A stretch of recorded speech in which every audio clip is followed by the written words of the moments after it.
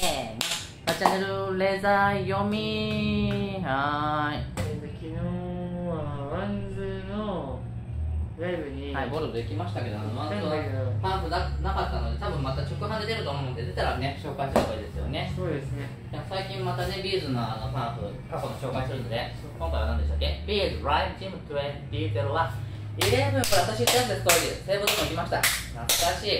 11のアルバムのツアーですね。でこれがはい。見せました、23年前だって、もはや。あー、すごいね。あーうちのジョーと行きました、当時。セーブドーム。今でも稲葉さん見る限りもないよ。ウルトラソウルとかね、ゴールドだった時はやったと。ああ懐かしい。イレブンのね。セブンセブンイレブン。まあこの時期が一応ウルトラソウルで多分さ人気あったのそうそうそう。ウルトラソウルの頃だねあでも小林稲葉さんのさ今の髪型にさ似てるかも。あった？若い時も。うんうん、うん、違う？それタックじゃん。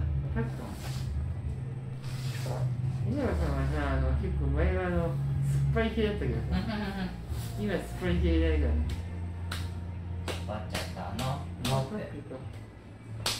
パラかっちゃったの？って？これ多分バチかなパラかちゃちゃっただ左がバッチ。右がタックだね。稲葉さんもね今60なのにすごい頑張ってるよまだなってないでしょだけど9月だから。でもまあでもまあすごいよね。ちょっとまだ出ないの。もうちょっとだけ待ってあげたら。うん。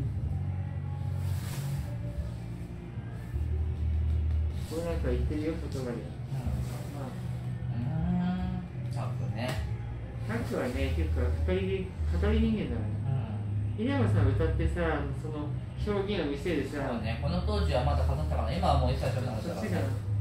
ね、かっこいいね。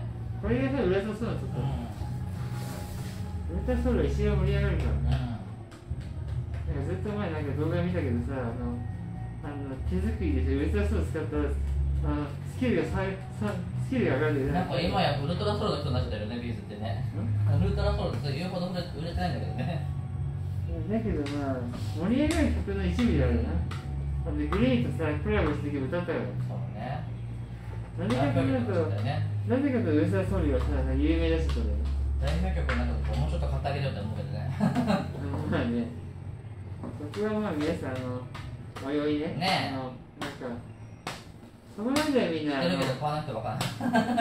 うなんそこまではみんなだからねあのねサブスク休暇いいなと思ってるね人間だからねビーズはまだシングルに買えますからね。うんぜひも買ってください。レーザーってさ買ってるからねなんかあのブルーレイとかさあの今最近はスターズだからさスターズだっけ？あれが最新だもんね、考えたらね。だいぶ経つね。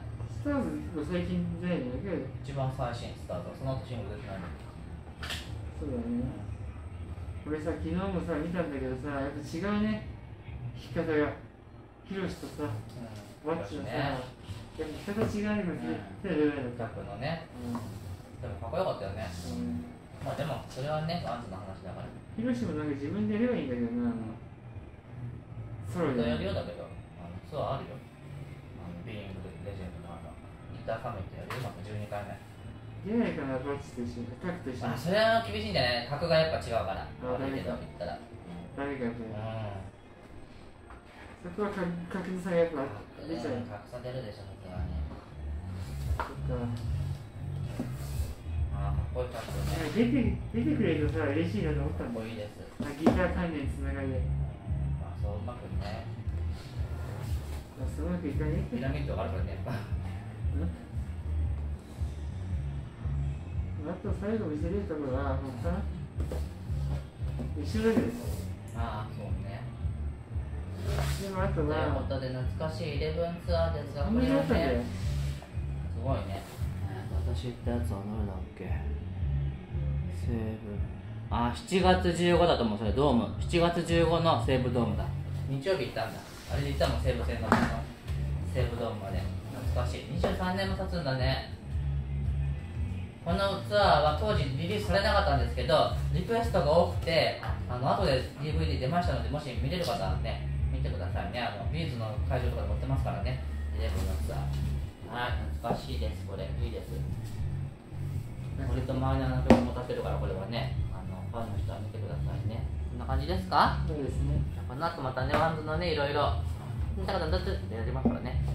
せーのだから何でも登録よろしくねうんだからだってちょっと本業あ、やり